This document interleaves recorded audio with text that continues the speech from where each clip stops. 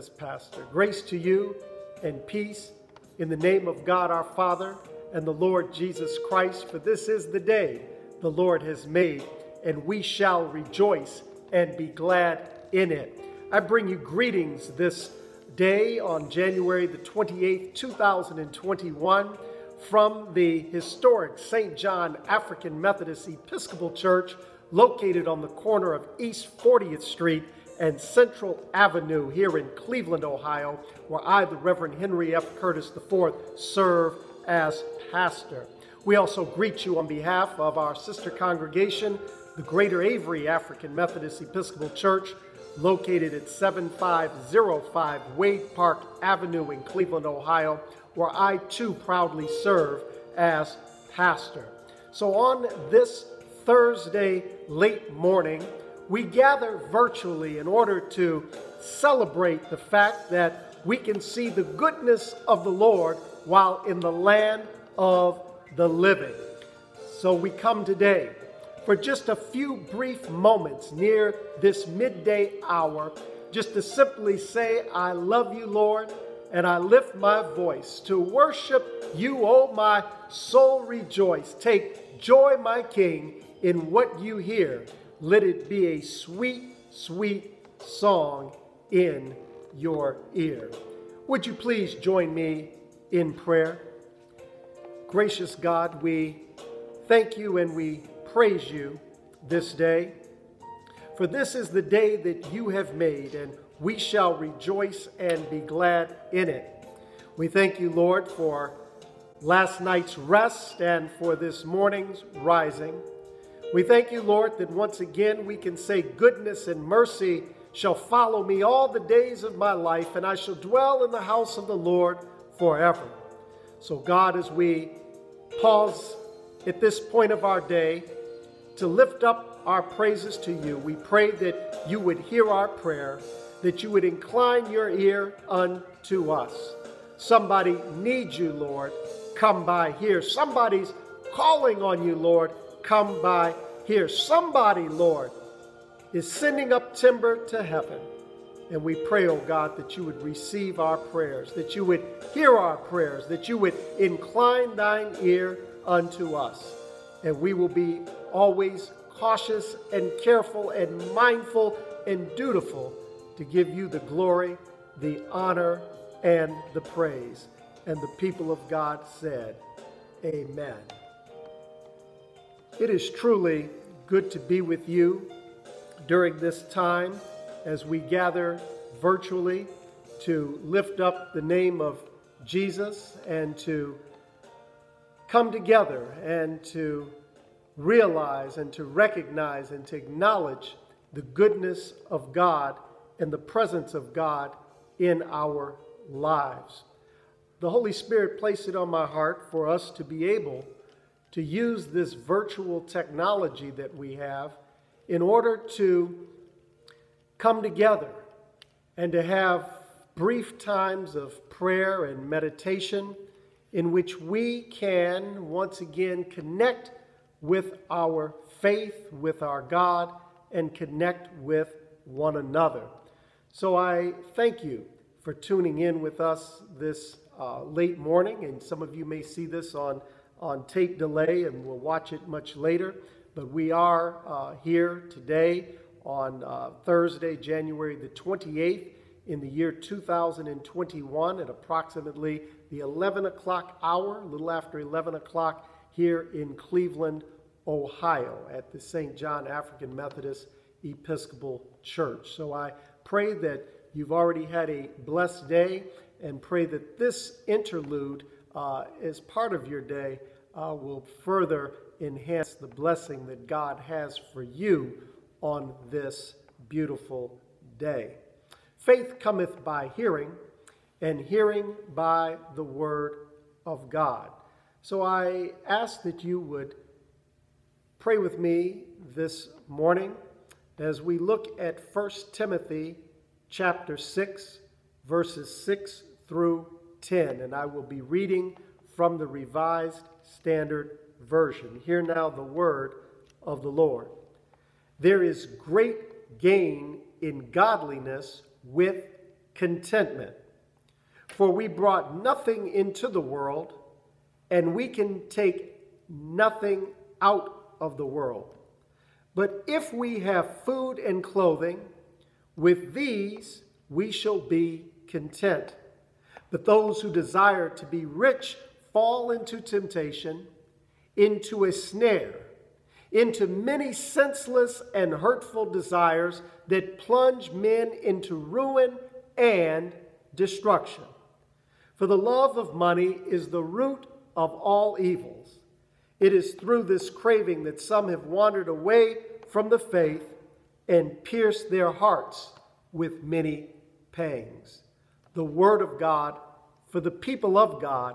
Thanks be to God. Let us pray. Lord, speak to me that I may speak in living echoes of thy tone. As thou hast sought, so let me seek thine erring children lost and lone.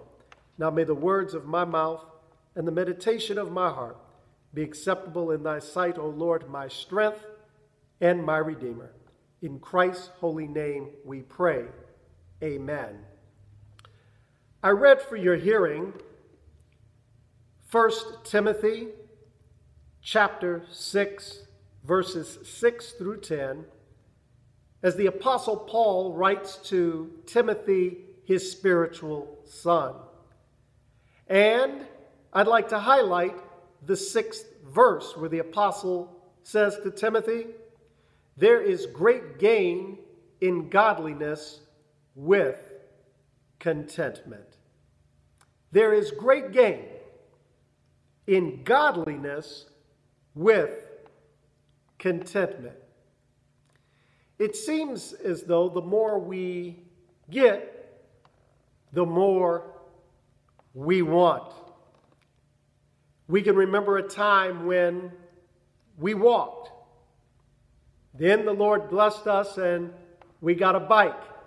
And I can remember my first bike was a black bike, and my parents got it from the department store, and it did not have gears on it. It did not have the hand brakes, but you pedaled it forward and then you turned the pedals backward, and that's how the bike would brake. It did not have, as I said, any gears. It, it, it, it was not fancy.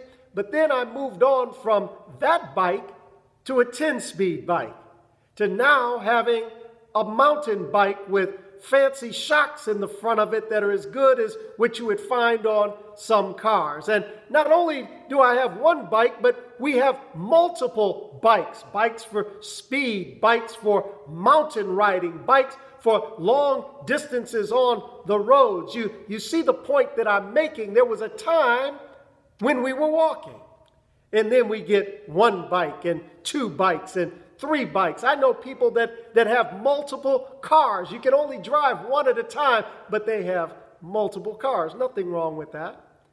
We remember times when we lived in apartments and now we have a house. And then when we get more money, we'll buy a second house somewhere else, hopefully in a warm climate, so that we can avoid the type of cold that we have here today in Cleveland, Ohio. But I say that to say that when the Lord blesses us with one thing, sometimes we aren't content until we seek to find a blessing somewhere else. Now, don't get me wrong. There's nothing wrong with having nice things and acquiring nice things, especially if you've done so by honest and ethical means. But when your attention is only on the material and you take your eyes off of God who is spiritual, God who is spirit, and those of us who worship him must do so in spirit and in truth, then we lose our focus on the one who meets our needs and is the source of our supply. See, God has blessed us with so much. When we stop and think about how much God has blessed us with, we could not adequately inventory it all. But it seems as though we're always looking for more. I have to admit to you that during this time of COVID 19 and the pandemic, especially when families were forced to shelter in place, the thought crossed my mind that while I'm thankful for the house I have, I wouldn't mind having a bigger house. Amen. But then when I thought about paying a bigger mortgage, I thank God for what I have. But we get a house, we want a bigger house. We get a car, we want a fancier car. And Paul, knowing this, speaks a word of encouragement and insight to Timothy, his spiritual son. And he encouraged Timothy to remind the people in Timothy's congregation, the people to whom Timothy ministered, the people who heard Timothy preach, he admonished his spiritual son to remind them that there is great gain in godliness with contentment. In other words, thank God and be content with what God has given you. Well, you may say, well, Brother Pastor, isn't that just a, a religion's way of telling us to be satisfied with what we have without aspiring to anything else? After all, we see the ungodly who are seemingly blessed with great riches and material wealth. Why is it that God's people have to remain content with little while it seems the devil's folks are relishing with much. That's not what Paul is saying. He's not saying to be content with meager resources due to injustice. He's not saying be content with lack while others lust after more, more, more to your detriment. But what he's saying is, is that what has truly been given to you by God, Whatever God has opened up and poured out as in the form of a blessing in your life, then be content with it with joy in your heart and with thanksgiving to God. Why is that, Paul? Why would you tell Timothy, your spiritual son, to preach that message to his congregation? I'm glad you asked that question because Paul answers it in the seventh verse. For we brought nothing into the world, and we cannot take anything out of the world. Here in Cleveland, Ohio, we have a famous cemetery, Lakeview Cemetery. And it is marketed in the area as Cleveland's walking outdoor museum because it is filled with ornate monuments, and even the grave and the, the, the tomb and, and, and, and, the, and the memorial to President James A. Garfield, a former president of the United States uh, who died tragically uh, by assassination. He's buried there, and you can actually go into to the Garfield Monument and, and look and see the president's casket and his wife's casket and the urns of their children. And outside of the Garfield Memorial Monument, you can see the graves of, of uh, the founders of Sherwin Williams and, and many other captains of industry, uh, John D. Rockefeller uh, Jr., and all of these luminaries of, of the late 19th and early 20th century are out there. But the interesting fact is, as a pastor, I've had the unfortunate duty of, of, of, of escorting the remains of, of my members to the same cemetery. And I can tell you that the dirt is the same at Garfield's grave as it is at anybody else's grave. That there are no Brinks trucks and, and, and safes and, and silver and gold at the graves of Rockefeller in the cemetery. What I'm telling you is that everybody winds up in the same place. That regardless of what you had here on earth, you're not going to take it with you. That Rockefeller and the president are no better off at Lakeview than anybody else who's out there. The only thing that matters is that before those folks went to their final resting place that they stopped by the cross of Calvary and had the blood of Jesus applied to their heart and cried out, What must I do to be saved? Lord, I accept you in my life. Wash me with your blood. Fill me with your spirit. Save me by the blood of Jesus. See, Paul says you didn't bring anything in the world, and you're not going to take anything out of this world. But if we have food and clothing, with these we shall be content. We're not hungry, we're not homeless. Be content that God has poured out a blessing in your life. Give us this day our daily bread, is what Jesus prayed in the model prayer. And if you're not hungry, you ought to say, Hallelujah. But those who desire to be rich fall into temptation into a snare, into many senseless and hurtful desires that plunge men into ruin and destruction. For the love of money is the root of all evils, and it is through this craving that some have wandered away from the faith and pierced their hearts with many pangs. See, Paul is telling Timothy, his spiritual son, to preach this sound doctrine to the people because the false God of humankind is money and wealth. We need money in order to make it in the economies in which we live. We need resources in order to live day by day. But those in and of themselves shall never be our God. And so, my prayer for you today on this January the 28th, 2021. My prayer for you today is that God will continue to open up the windows of heaven and pour out an abundant, an abundant blessing in your life. A double portion, pressed down, shaken together, overflowing. The, the psalmist says, My cup runneth over. And if our cups really, really runneth over, we don't want the excess to spill to the floor, but somebody with a less full cup can put theirs under ours and be blessed because we ourselves are blessed. So thank God for what you have. Trust God that God will continue to pour blessings into your life that God will continue to open the windows of heaven for you.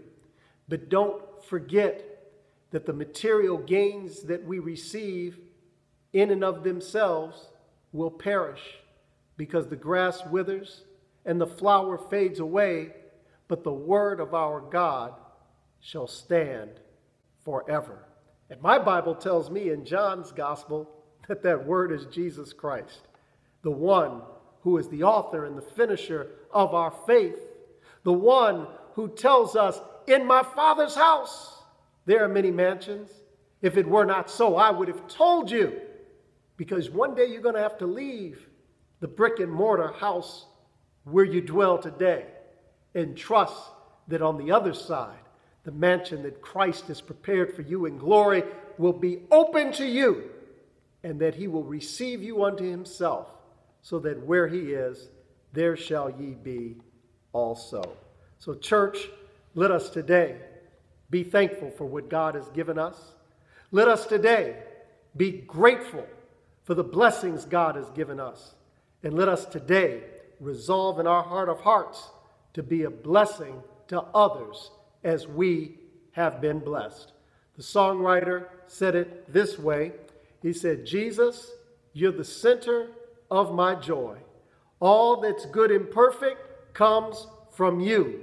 You're the heart of my contentment.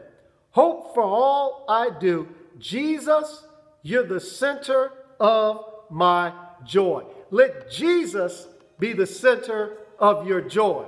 Don't let your bank account be the center. Don't let your car be the center. Don't let your house be the center. But let Jesus be the center of your joy. And when Jesus is the center of our joy, when Jesus is the source of our contentment, then we will have a joy that the world cannot give us and that the world cannot take away. Thanks be to God. Amen. I pray that that message was a blessing to you. And if it were, I ask that you would just pause right now and to pray this prayer with me. Let us pray. Lord Jesus Christ, come into my life. Live your life in me. Fill me with your Holy Spirit. Forgive me, Lord, when I pursued materials while forgetting about you. Forgive me, Lord, when I was not grateful to you for that which you have so graciously given me.